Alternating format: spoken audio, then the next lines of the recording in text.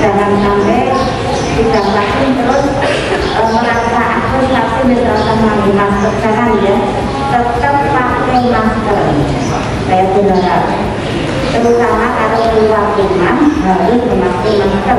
Biarpun tentunya semua sudah vaksin dan nanti rencana ini vaksin pertama dan nanti vaksin juga vaksin kedua di sini.